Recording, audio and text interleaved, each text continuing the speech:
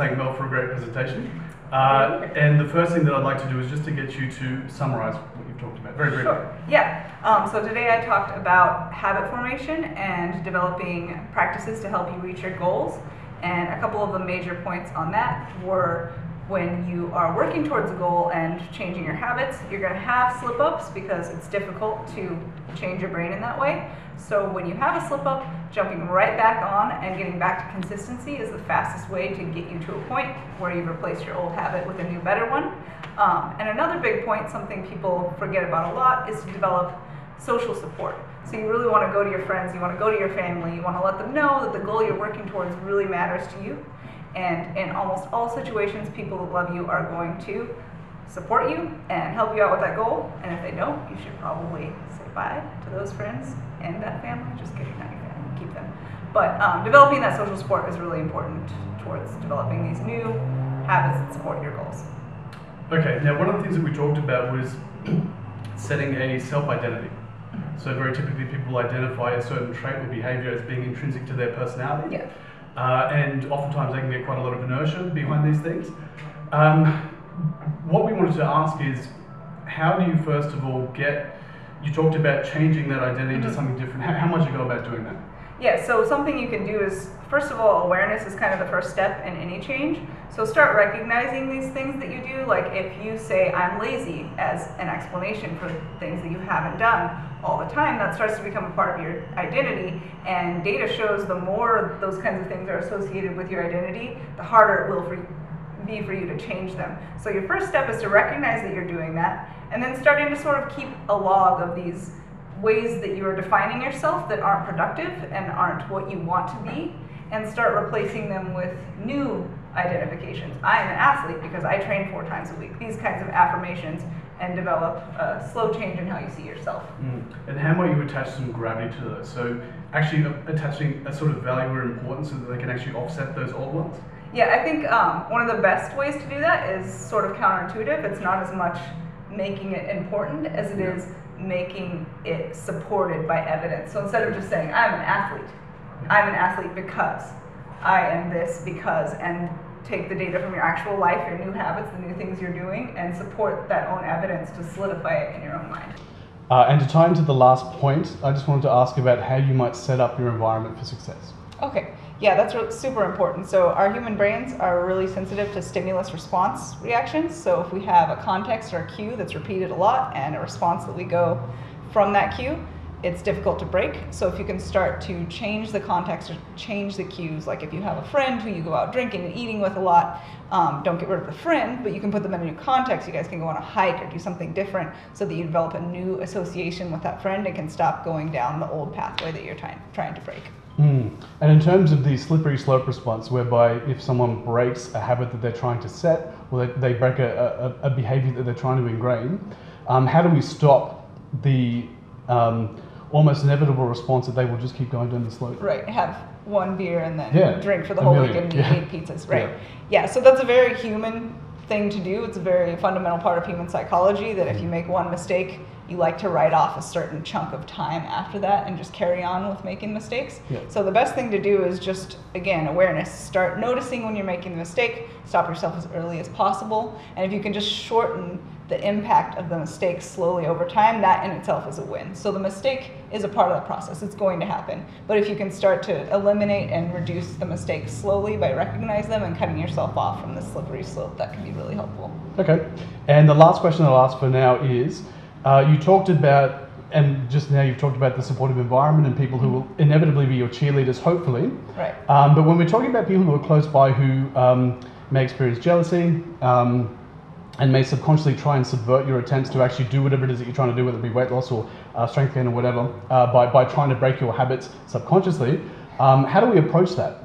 Yeah, well, I think if you go to your friends and you sit down and you tell them what you want and you tell them it's important to you and that you value it, they're either going to support you or they're going to pretend to support you at least in a public environment. So you sort of diminish their capacity to have a bad effect just by doing that. Because once you've said that to them, most people, even if they are jealous and want to support your goals, they're not going to do it publicly and they'll be embarrassed to do it publicly. So you've eliminated, you know, some of their impact.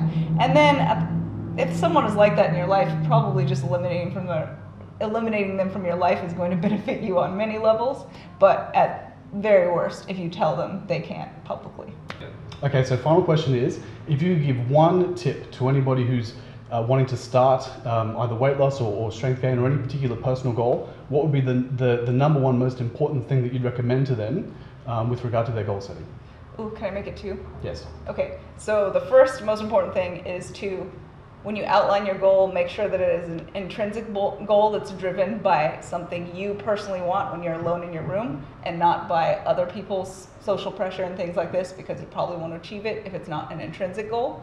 And then the second, second thing would be to assess the trade offs and make sure that you're prepared to make them, knowing that it's not going to be a linear progress kind of thing. There's going to be ups and downs, and just accept that you'll be making trade offs and working towards this goal for a while before you get it. Okay. So realistic expectations and a good goal outline. Yeah.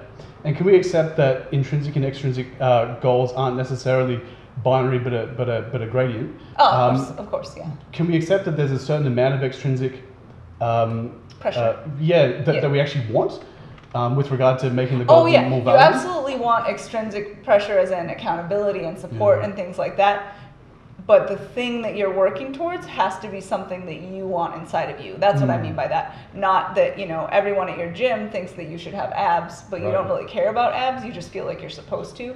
That kind of thing. So make sure you want it from deep inside, but sure. perfectly okay and helpful actually to have people yeah. other people supporting that and helping pressure you to work yeah. towards what you want. Would you consider that some extrinsic factor is actually be- better than just strictly intrinsic?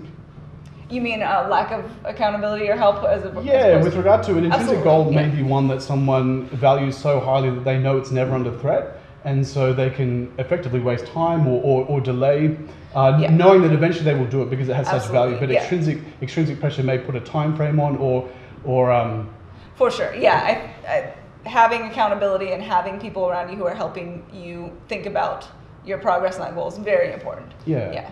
Okay, and the final uh, tip for the coach who's, who's about to take someone on, uh, it could be a new coach, it could be a coach that's just trying to improve their methods. Um, what, what's the most important thing that you would get the coach to do with regard to yeah. setting goals for their client? Yeah, so I think thinking about clients' motivations and things like that, a lot of people forget you get all of the metrics of their weight and what their physical goals are and things like this.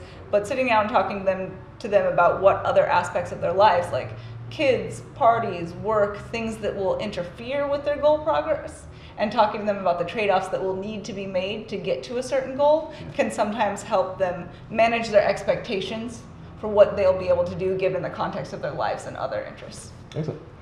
Thank you, Dr. Melissa.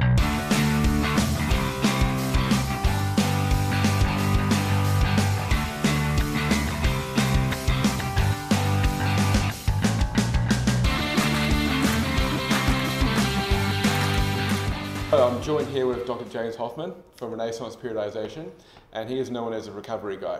So he'll be speaking today on his presentation, which was on physique, balancing physique and lifestyle. And um, it was, I found it very interesting to, to see the different levels of, of I guess, of, you know, from pro right down to you know, different levels there. And I found it to be it's good to, to understand where people are at in, in, their in their physique and their training performance sort of goals. And I'll I'll let James summarize what he spoke about now. So thank yeah, you. thanks. It was really great to be here, and uh, it's it's really interesting because everybody wants to be you know kind of towards their best in all sport, and with physique, it's like something where you might not compete, but we all want to have a nice physique. We all want to look good, whether it's naked or whatever, but we want to have a nice physique the problem is, is the physique training, the diet, the recovery stuff, it's just all consuming. It just takes up all of your time and it just gets really frustrating for some people. So uh, my talk is really about understanding the trade-offs between how deep you want to go into physique and how much of your lifestyle you have to compromise along the way. So we kind of broke it down into some different categories, right? Like one being a professional level physique competitor, and we say, yeah, you know what? Like you have to be on point all the time. You don't get a break. Your training, your nutrition, all that stuff, all the time. But you don't have to live like that if you're not an active competitor or somebody who's trying to win titles and sponsorship and things like that. So we can work our way down and say, hey, you might have somebody who's we call them kind of the uh, professional, where you're trying to win competitions, but it's not your whole life. Maybe you got a job, maybe you got other stuff going on, and we kind of think about what things can we give up a little bit in terms of physique development to maintain a good balance in lifestyle. Mm-hmm. And then we can work our way down even further. We say, okay, you have people who are kind of recreational and non competitive. They just want to look good, they want to have a good life, but they're not necessarily going to step on a bodybuilding stage anytime soon. And they're a little bit more flexible. They can be a little bit looser with their diet, a little looser with their training, but still maintain a pretty good regimen most of the year. And then you kind of have kind of your recreational people who just want to be fit and healthy and look good. And maybe they got other hobbies, so they don't want to be weighing their food, doing all their macros all the time. Maybe a little bit of the time, but maybe not all the time either. Yeah. And I think that it's important to know as well that people might go through waves of being a level one or level two or level three. Yes. And how have you found that with coaching over the years and taking people from different levels, either regressing them or progressing? Have you you found it to be difficult or? Yeah, sometimes it's more of a matter of necessity where people will start at like, um, you know, like trying to become professional and then something happens like they might have a death in the family they might mm. have unexpected financial problems where maybe they lost their job or something like that and then they have to either back off which is more often what we see it's rare that we yeah. see somebody who's like oh i won the lottery so now i want to be mr olympia yeah, right exactly. it's usually yeah. like hey my, i broke up with my spouse or i got a divorce or my sister died and i have to mm. take care of my family or something like that and then they go from like a two or down to like a three or a four and they say I was training really hard. I was doing everything right, and now I just can't anymore because mm-hmm. there's more important things going on in my life. Yeah. And so one of the things we try to tell them is like, that's perfectly okay. There's no shame. There's mm-hmm. no um, you shouldn't feel bad about having to downgrade because you just have different priorities in life, right? Yeah. And so it's just a matter of trade-offs. Where we say, yeah, you can't be Mr. Olympia or Miss, uh, you know, any, any of the other titles right now, and you might get there someday, but you just got other stuff going on. Yep. And so you can't just be penny pinching your macros and doing training all the time. You got a job, you got a family to take care of. That's fine. Now, in the event, sometimes people do want to move up and they say, hey, my life is actually like really good, really mm. stable. I was basically a recreational person and I want to kind of dip into the competitive level a little bit. Yep. And then we say, okay, that's great. Now just understand where you were kind of loose and not so tidy on things. Now you've got to like start getting more rigid and get, get more strict. And for a lot of people, that's a big shift, right? Yeah. Where it's like, oh, I used to go Definitely. out once a week for dinner, and now you say, yeah, you probably can't do that most of the time. Yeah.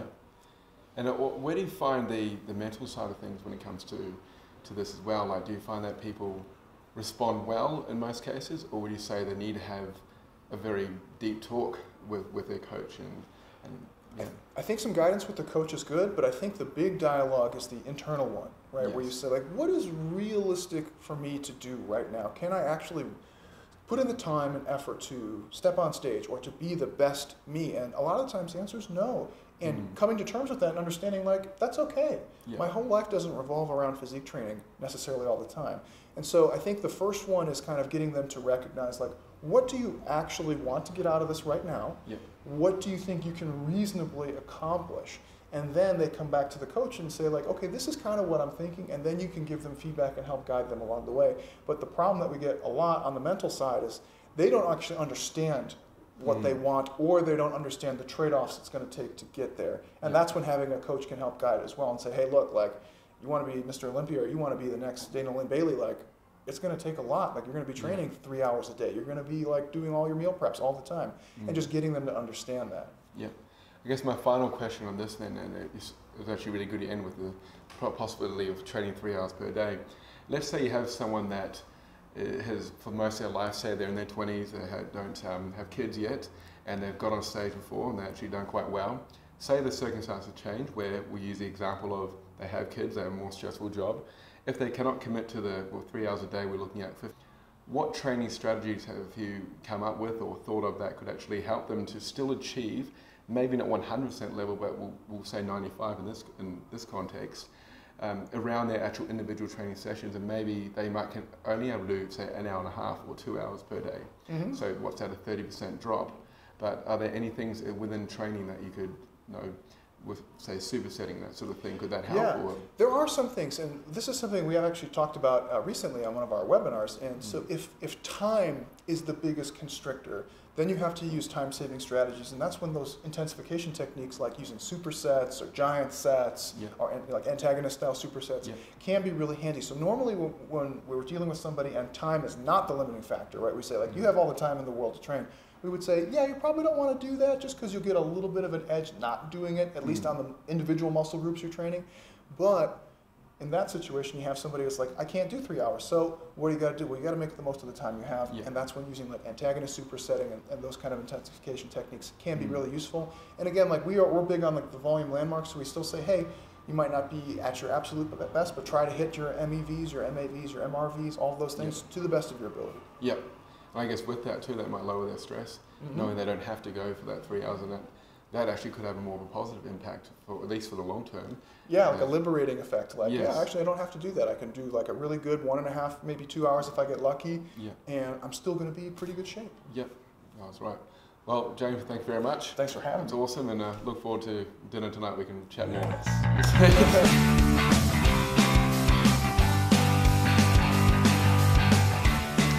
Uh, I'd like to thank Dr. Gavin for a wonderful presentation this weekend. Uh, the first thing I'd like to get you to do is just to summarize what you've talked about. Yeah, absolutely. So um, I broke my talk into two parts. So uh, yesterday, day one, I really covered the fundamentals, the foundational research that we have in the gut microbiome thus far. So talking about what the gut microbiome actually is and how we can study it. Uh, then I also talked about the effects of diet and exercise on the gut microbiome.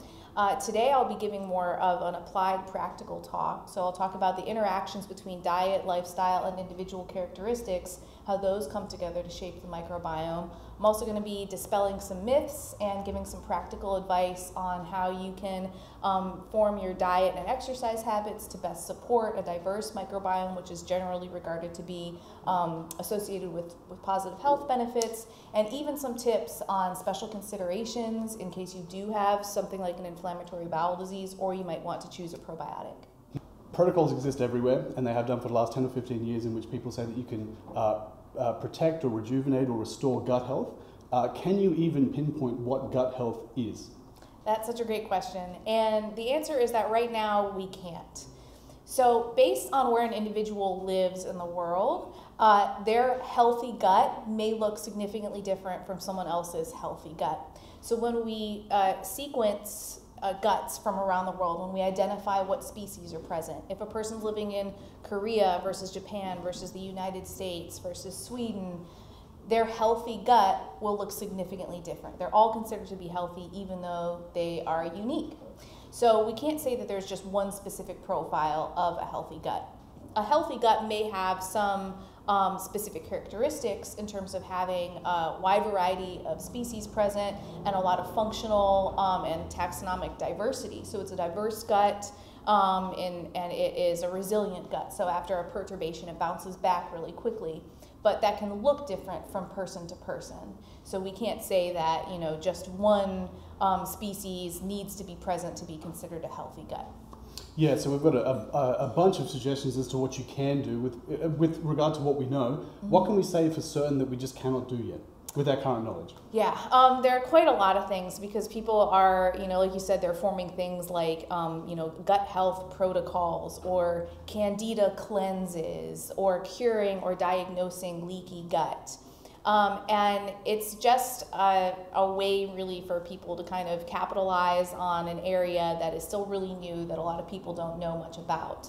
So, uh, because leaky gut is not a clinical diagnosis, um, it's not considered to be an actual disease that we can diagnose. We really can't claim to be able to cure it. And um, intestinal permeability, so having an increase in sort of the spaces between the intestinal cells, that may occur, but it's dynamic. So it occurs after exercise, it occurs after a meal. And while it's associated with some disease states, it itself is not a disease that can be cured. Um, same thing with uh, something like healing the gut. Well, the gut isn't just one thing, it's an entire organ system. And so when someone says they're going to heal the gut, my question is always, what part are we actually talking about? Um, likewise, saying that we're going to um, kind of remodel or rejuvenate or cleanse or only kill the bad bugs and support the good bugs. We have thousands of species of bacteria alone, and that's not all of the microbes that we have present in the gut microbiome.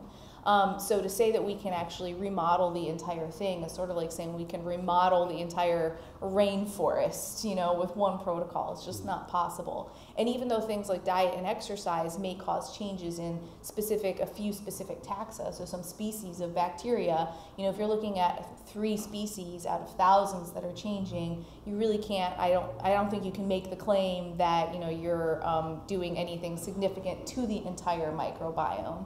And even when we do see changes in just the organisms present, we don't necessarily then see the same change in terms of the function. So it may actually remain very stable even if we do see some minor changes in who's there.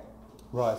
And just as a tangent before the next question, is there any way that you can give some kind of scope to anyone listening? How would you describe the magnitude of what we're looking at when we when we talk about the gut microbiome in terms of either numbers or, or, or, or magnitude of of um, I, I guess this, this entire ecosystem that we're looking at?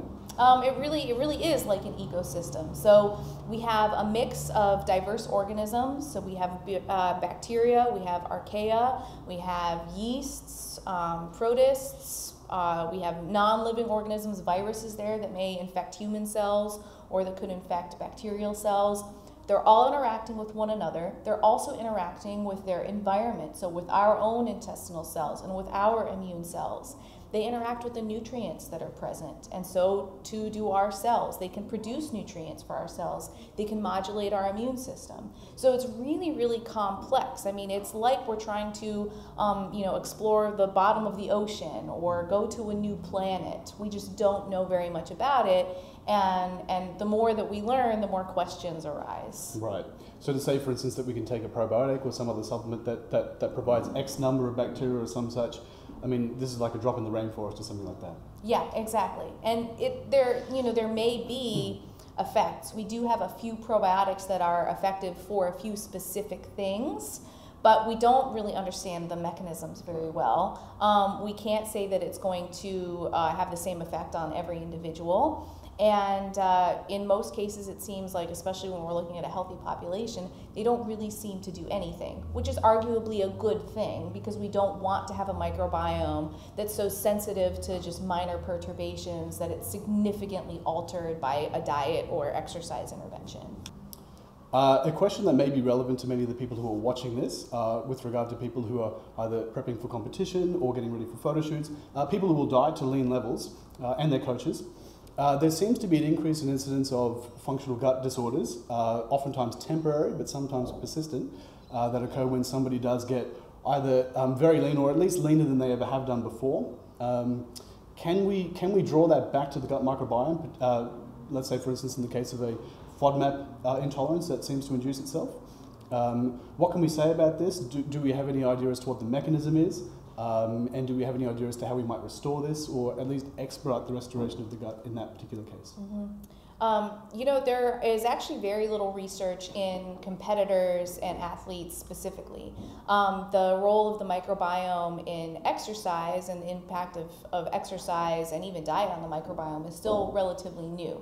Um, we started to characterize that relationship um, in about the mid 2000s. So it's maybe just in, in less than, you know, maybe 10 years that we've really been looking at this um, and you know stuff in, in athletes just in the past several years.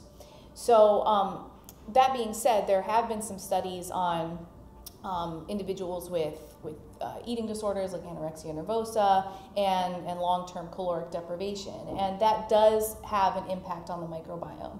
Um, you can think of it just in terms of any organism, they, they need nutrients. And so if the um, fiber content of the diet is very low, uh, that does have an impact on the microbiome. So if an individual is really reducing their caloric intake, fiber content usually then will fall just as a function of lower food intake.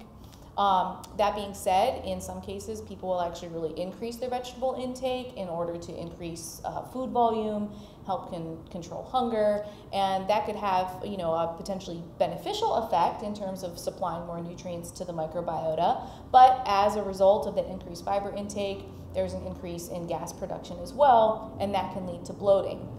Um, now, certainly, you know, FODMAP um, sensitivity is sort of dose dependent. So if a person was having, you know, a manageable amount of FODMAP uh, intake previously, and then all of a sudden now their their diet is much higher in these FODMAPs, then they could experience, you know, uh, an increase in, in gastric distress. Gut motility also changes with um, caloric deprivation, so it's possible that, you know, with reduced gut motility, so food is moving through the gastrointestinal tract more slowly, the bacteria have more time to interact with it, and then, you know, could potentially increase uh, uh, gas production in that respect as well. Um, I think that there's a lot of um, there's sort of like theory going around about you know the the eating a specific food over and over again creates then an intolerance to that food. Um, there's really no evidence that I've seen to support that notion. It's just sort of a, um, I think, a thing that you know people follow like a logical progression and then come to that conclusion. Um, but I think that's sort of also a misunderstanding about what creates you know an intolerance versus um, you know what might be an allergy or something like that. So think it's just an area that you know does need more research. Um, I know there have been a few recent studies out comparing the microbiomes of like bodybuilders versus endurance athletes, and looking at you know some of the correlations between specific macronutrients and um, relative abundance of specific species. And so you know the specific macro ratios do also seem to play a role. So absolutely, there are interactions and there are changes occurring. We just don't really know um, the details yet. Yeah, uh, and as a side note, can we uh, delineate the difference um, between uh, the effects relative to the energy availability given to the microbes uh, as compared to the energy status of the host? Yeah, so we can divide uh, carbohydrates, which are really probably the most important energy source for really both, um, uh, into digestible carbohydrates. So those are sequestered by the host. So those are the carbohydrates for which we have digestive enzymes. We break them down into their smallest subunits and then absorb those and extract energy from them. Um, there are also indigestible carbohydrates. So those pass through the small intestine and reach the colon where they're then fermented by the bacteria.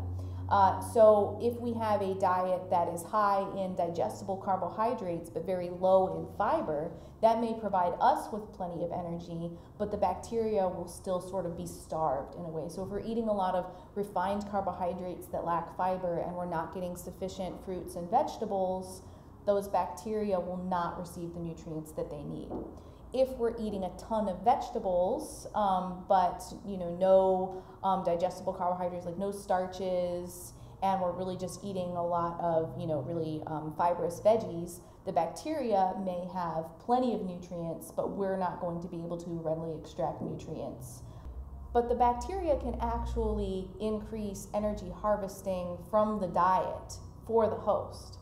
So they do that by fermenting those indigestible carbohydrates to short chain fatty acids, which are then readily available to us. So we can actually um, digest and absorb those just like we would a dietary fat. And so it, it's estimated that uh, in some individuals, bacteria may actually increase the uh, energy availability of the diet by about 10%. So that means that um, we may get an extra 10% calories that we're not necessarily accounting for. Right. Now, we, we know that there's perhaps a chicken and egg situation with regard to um, there's, there's, there's perhaps a gut microbiome profile that may uh, exist in obesity. Mm-hmm. Uh, and on the flip side, there are certain bacteria that may predispose toward obesity. Mm-hmm. Um, what do we know about that so far? So that was based on a really remarkable sort of landmark study in the mid 2000s uh, in which a lab transplanted a microbiome from obese mice to germ free lean mice. So those mice did not have uh, a microbiota. And when they received that transplant from the obese mice, they then became obese, either by increased appetite or increased energy harvesting. And the same did not occur when they were transplanted with microbiota from lean mice. They've also been able to replicate that with uh, microbiota from uh, twins discordant for obesity. That means one twin was lean and one was obese, and when they transplanted their microbiota into mice, those mice then took on the the the appearance of the uh, twin from which they received the donation. So the mice who received the lean donation remained lean. Mice who received the obese donation then became obese. And so that's how they started to uh, identify the role between the microbiota and, and propensity towards obesity. Now, in humans, it's a little bit more complex because we're not able to actually do those studies. Humans are not ever going to be germ free. Um, so, you know, there's potentially a predisposition depending on the profile of uh, the microbiota, but it could be that the diet, an obesogenic diet, is what's actually shaping the microbiome. So um, that gives us that we've nudged a little bit in the direction of you know causality. Um, but again, even if a person did have an obesogenic microbiome, it would just mean that they would have to probably eat a little bit less mm. than another person of you know the same uh, body size and the same physical activity level. So you know, two people who have exactly the same body size and exactly the same lifestyle. If one person had a more obesogenic microbiome, they may need to eat a little bit less, but it wouldn't prevent them indefinitely from being able to control their body weight. Right. Uh, so my next question is a double header, and okay. it sort of comes off the back of that. Uh-huh. Uh, what would you say our um, current limitations are with regard to research, and uh, what are the future directions? Um, well, right now we've actually seen some incredible technological advancements that have been able uh, that have enabled us to to identify um, species with uh, really detailed resolution. So now we can get a much better picture of um, the uh, form of the microbiome, so who's there, and then also the functions in terms of what genes are present, what genes are being expressed, um, what metabolites are being produced, so we can see what species are present and also what they're doing. Uh, but it's harder for us to then determine how they're interacting with each other and how those interactions are shaping the entire microbiome, how they're interacting with our, our cells and how our cells might be uh, interacting, you know, in terms of crosstalk. So um, it is just such a new area that you know we're coming up with a lot of correlations and sort of starting to identify relationships, but you know we're still very very far away from a cause and effect type of relationship in most cases. Uh, but in the future, I think that you know we will be able to um, better structure uh, interventions and actually you know put together trials that are uh, able to nudge us in that, that direction of causality rather than just you know doing like case control studies and observational studies where we're just taking a group and sampling their their feces and then you know coming up with correlations. I think another thing that we need to improve upon um, is is uh, diversifying our sample sites. So we're not really just using um, stool samples, which is pretty much the most common um, sample site for us, and, and, and the stool samples are an okay representation for what's happening in the distal part of the colon, but we're really not seeing the big picture of what's happening in the small intestine and more proximal parts of the large intestine. So we're sort of missing, um, you know, what could potentially be some really important information about what's going on in various parts of the gut as well. Right, and I think we've learned here that there's no one size fits all approach. But if you could just give one practical takeaway uh, tip, uh, mm-hmm. uh, your top tip uh, for anybody listening who, who might want to either improve their gut health or at least um, perhaps look after themselves a little bit better, what would you suggest that that would be? Eat plants at every meal. All right. Dr. Gabby.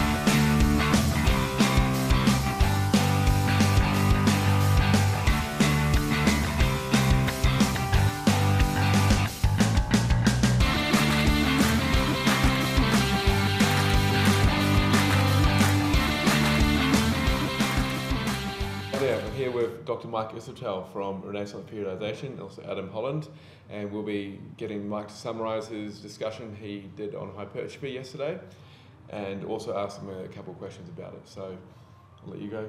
Thank um, you. Thank you so much. So yesterday I talked about um, an aspect of kind of advanced periodization for hypertrophy, where we're asking the question of how heavy should we lift uh, in order to achieve hypertrophy, but we're asking it on the time course uh, concept where should we alter how heavy we lift from mesocycle to mesocycle to mesocycle over the course of a training block. So for example, we could look at the literature and say, you know, anything between roughly your five repetition max and your 30 repetition max is pretty robust for inducing hypertrophic gains. So we could say, oh, you know, we should probably train in all of the rep ranges between that um, the entire time, and sort of just every mesocycle we train, you know, a third of our training should be in sort of the middle ranges, the 10 to 20 rep range. A third of the training should be heavier in the 5 to 10 rep range. And then maybe another third of the training should be in the 20 to 30 rep range. And uh, that is a fine way to train, it's a fine idea, but as we look a little bit more deeply into what happens over the course of a single training block, which is usually about three mesocycles of one sort of overarching goal, like a fat loss phase or a muscle gain phase, as we go from mesocycle to mesocycle to mesocycle, the uh, sort of constraints and benefits that we face might bias us into the direction of altering those repetition ranges or really how much work we do in those rep ranges. So we end up seeing this pattern where maybe it's a little bit more beneficial to train a little bit more of your volume in the heavier range, 5 to 10 earlier in the first mesocycle, then most of your training should be probably done in the moderate range, 10 to 20 reps in the middle mesocycle. And then towards the end of a training block, the last mesocycle, there is a decent argument to be made that more of your training than usual should come from the 20 to 30 rep range, which we otherwise sometimes call metabolite training. And there's a couple of good reasons for this, and of course I can't get into all of them in this sort of quick preview, but for example, when you're fresh in the first mesocycle of a training block, you're really primed to train heavy coincidentally, that's going to be your lowest volume training, and also you don't need much volume to grow then because you're very new to the training process. You just did some sort of resensitization mesocycle before.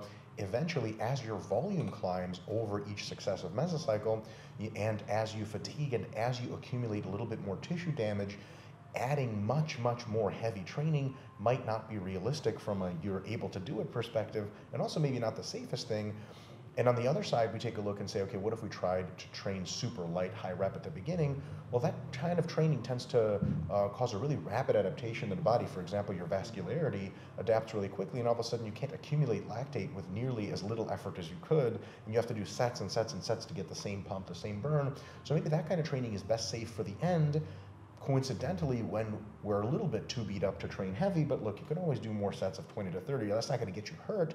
And also, it's this last shot at the end that, that really sort of puts the exclamation mark on the hypertrophy mesocycle. And then after that, you're at your highest volumes, and you go back into a resensitization of some sort. So you basically start training most of your training heavy in the first mesocycle, moderate average training, 10 to 20 reps, and then the last mesocycle, there might be an argument for doing a little bit more of your training than usual with higher reps. And this also follows pretty good frequency structure as well, where you tend to train with lower frequencies at the beginning of a block, higher at the end, and lower frequencies are just more conducive to training heavier, and higher frequencies are more conducive to training lighter because you can squat heavy twice a week. You're probably not going to squat heavy five times a week, but you can do very light uh, quad work or something uh, at the you know five times a week, no problem. And as a matter of fact, that kind of stuff doesn't tend to disrupt your connective tissue much. So if you're doing really high rep training, doing it not frequently doesn't make much sense, but doing it frequently makes a lot. So we kind of see this whole synthesis come together. It's just food for thought. It might not be the answer to everyone's hypertrophy plan, but it's probably a good idea to train a little bit heavier in the beginning of a block, uh, more moderate at the middle of the block, and a little lighter at the tail end that still means we every exercise we do let's say we do uh, squats the entire time we might still do heavy, heavy, heavy in the squats. So we end, you figured, well, how shouldn't we be doing moderate squats in the second mesocycle and then lighter squats? Well, not necessarily. We can do squats heavy, heavy, heavy, but then we add leg presses to the program in the second mesocycle and do them moderate, moderate. And then we add walking lunges in the last mesocycle and do them light. And we do more of the lunge sets later, not as many leg press sets, very few squat sets, and it ends up biasing the whole program where we still have our really good progressions all the way up in weight. We still put weight on the bar per exercise, but because of the way we add sets and exercises, the average loading falls over the course of the mesocycles. The result is a great deal of hypertrophy. And the last thing I'll say is this is part of a periodized model for hypertrophy training. And the first thing people can think is say, well, gee, you know, that sounds like we're averaging lighter training over the course of time. And you know, even though the individual exercises are going up, that's good. Isn't averaging lighter and lighter and lighter over the course of each meso kind of the reverse of what you would do with strength training? Yes, but that's not a problem because we're not trying to get necessarily stronger in the 5 to 10 rep range or the 1 to 5 rep range. We're trying to get bigger. And the number one critical factor for hypertrophy is volume. This allows us to increase volume by a radical amount and increase frequency, which also seems to increase hypertrophy a lot. And we could ask the question of what about getting super strong? Does that increase hypertrophy? Well, if you do it at the expense of volume, it doesn't. Right? So the traditional periodized model, this designed for strength power sports, has your volume starting high, frequency starting high, et cetera, and you drop all those factors and peak to get stronger, this doesn't necessarily flip the model upside down, but it sure as heck has some opposite features because we're trending towards another uh, outcome. We want growth, and that's really. I'll conclude my overly long summary with this statement that what we really want to do, the modern periodization uh, as a science, is an objective view at what are our conditions, what are our needs analysis and what do we desire to be at the end of this process? And then we arrange training variables to get here. And the way we arrange them can end up looking nothing like periodization for another sport or for another fitness characteristic like strength or power or whatever but it doesn't have to. If you're ordering if you're cooking a different kind of meal at home your uh, what you buy to cook for it, what it looks like cooking, and how it tastes and looks might be very different depending on what you're cooking. So somebody who's used to making burgers can't be like, oh, where's the, the burger patty and the bun? Like, well, we're making pizza. Those things don't exist. Well, what I thought good cooking means burgers. Like, no, it doesn't. Just the same way as good periodization for any number of fitness characteristics, including hypertrophy, doesn't just look like strength training periodization. It's going to be very different, and that's the whole point. Right, so that's a great summary, Mike. Thank you. And my question is more around people that want both, so that, you know, power building type of thing, where, for example, they might go heavy early in the week and go lighter later in the week. How would somebody program that, but also understand the trade-offs so they may not become the strongest or the biggest? Well, you know, I don't believe in trade offs. I believe in willpower. And if you just grit your teeth hard enough, like if you growl at the weights, they'll respond. Yeah. Right? uh, if that doesn't work, however, then what we do is uh, trade offs absolutely. One of the best ways to arrange that is to have different phases of training where you're trying to bias your training into the direction of either one of the benefits that you want. And uh, then after that phase is over, you bias it in the direction of the other one. So, for example, if you want both a good measure of strength and hypertrophy, you can take one to two mesocycles and arrange it relatively optimally for hypertrophy, right? So you're doing the sort of training we just described. And then once those mesocycles are over, you rearrange your training relatively optimally towards strength. You drop your repetition ranges, in the you know the one to eight rep range, and you drop your total volumes, and you include exercises that are more strength building rather than hypertrophy building. You know, more upright rows and presses versus more lateral raises and front raises and something like that. You've put on a lot of strength and a lot of size, but then the last couple of months have been strength training. Now you need to get bigger again. You flip the focus again and get into hypertrophy training. So you basically have to do a good job with what it is you're doing and commit most of your resources to it all the time. You know, again, it's, it's almost like you know, if you want to eat pizza and burgers, do you make sort of like a burger pizza conglomerate thing? And I don't know, it's probably not going to taste great. No, like one night you make pizza and you make a decent pizza, and then another night you make burgers, and it all works out. You, you get both. If someone says, I want to eat both pizza and burgers, you do a good job making each individually. You don't mix the two together in some kind of like weird, like, it's like Carol made it. right? You know, assuming cooking is genetically engineered. So uh, now there is something to say for a slight biasing into the other direction where during a hypertrophy cycle, keeping in mind that you also want a good measure of strength, you might take your average repetition ranges, and usually it would be like sort of 15 reps would be your average, I suppose, right? Yep.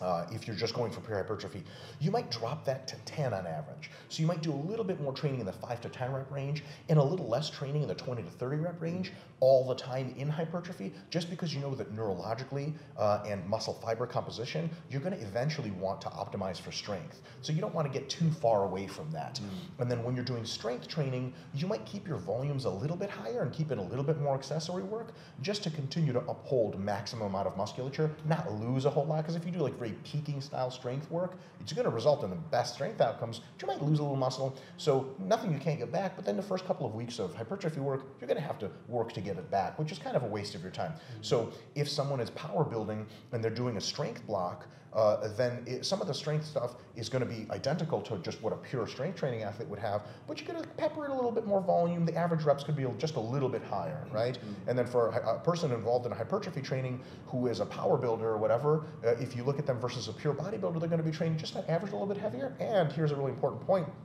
they might never really delete away core strength moves. So like I'm training for hypertrophy currently for a long time myself. I don't really care about strength so much by, by its own. I've sort of walked that path already. I won't do, you know, low bar squats or competition benches for months and years because I don't care. But someone who's a power builder who wants strength and hypertrophy, they may still do the same rep ranges as me, but when they pick their leg exercise, they might still say, okay, at least high bar squats maybe even some low bar work if they can handle it. Definitely some competition pressing, but in the higher rep ranges. So there's some core exercises they're never going to get away from because not only are they growing their muscles during that hypertrophy block, but they're saying, you know what, the strength block's going to start soon. I need to be ready for that. I can't get too far away from that. I suppose the pizza burger analogy breaks down entirely at that point because you're eating the pizza and you're like, hmm, but you're thinking about burgers. Which is me all the time. Uh, all right, we've got some great information there with regard to uh, optimizing or changing loading parameters to, um, uh, to look at strength and hypertrophy. Uh, but I want to bring it back to diet, uh, seeing as we brought up burgers and pizzas and their demonic hybrids.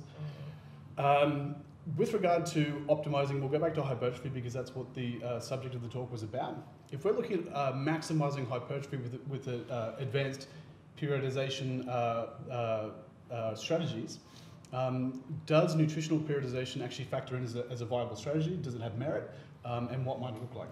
Yeah, great question. So, nutritional periodization is a real thing, but it tends to occur at the macrocycle level more than at the block level. So, within a training block, nutritional approach is rather similar, or really it's unidirectional. It has one goal. For example, a training block of muscle gain basically is multiple mesocycles of training, which are a little bit different and sort of periodized between each other.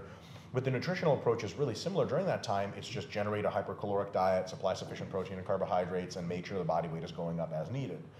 But at the, you know, and, and then a cutting phase or a fat loss phase, the training is rather different mesocycle to mesocycle as we discussed. But um, that entire block might be a very similar nutritional strategy from meso to meso to meso, which is just progressively decrease calories while maintaining sufficient protein and as many carbohydrates as you can get away with. So the nutritional periodization is something that occurs at a macrocycle level. So block to block to block, you'll see distinct nutritional changes. Here's a really good example, or really foundational example. Uh, you'll have a block of muscle gain where a hypercaloric diet is used to gain both muscle and fat. And ideally, you'd gain mostly muscle, but sometimes that doesn't happen. So you'll be in a situation where your body will not be used to carrying that much muscle yet, but you'll be at your sort of biggest ever. And what you do is you take, uh, you know, one month or two months to eat at maintenance and in, in, part psychologically recover from having pushed that many calories or just do something with your calories versus just eat at maintenance.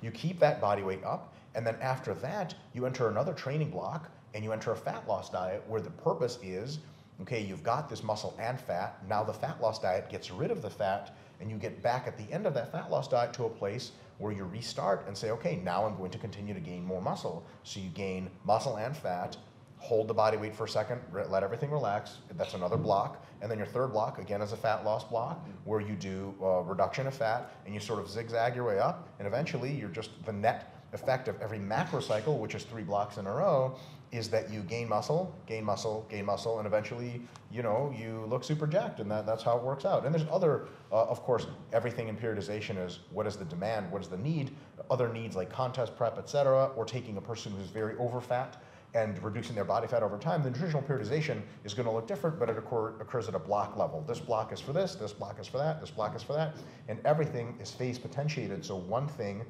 makes the next thing go better, or the next thing deals with the side effects we've accrued in the other thing. Right. That's it. Dr. Mike.